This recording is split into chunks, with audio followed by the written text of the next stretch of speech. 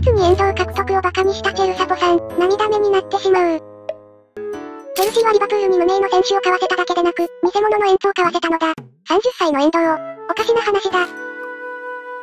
リバプールで活躍し守備の要となった現在、このコメントが間違っていたと話題になっている様子がこちら。そう自分に言い聞かせておくんだ。移籍市場で勝つことだけが、あなたの関心事なのですね。チェルシー、カイセドに無駄金を使わず、より良い選手を買わせてくれてありがとう。12月の月間最優秀選手。首位に貢献。チェルシーがリバプールに遠藤との契約を迫ってくれてありがとう。チェルシーの二人は遠藤の25倍の報酬をどのように得ているのだろうかこれを削除する時間はまだあるよ。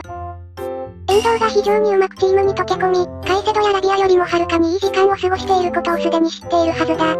彼は素晴らしい買い物だった。リバプールはチェルシーに二人のピエロを買わせただけでなく、偽物の遠藤を買わせたのだ。リバプールを立ってチェルシーに移籍するような真面目な選手はいない。あなたは今、バカだと感じているに違いない。そうだろう？そう感じているのかもしれない。ホットな話題から現地の声まで、他とは違った視点で情報発信しています。ぜひチャンネル登録お願いいたします。